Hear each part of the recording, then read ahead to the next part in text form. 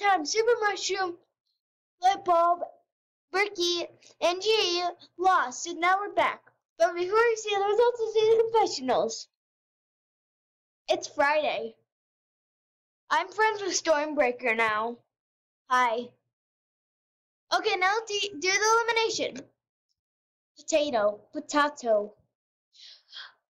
Okay, so we received nine votes for this elimination.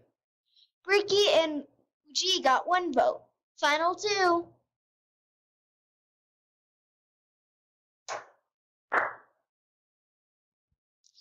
Super Mushroom got three votes, so Light Bulb is out with four. How could this happen?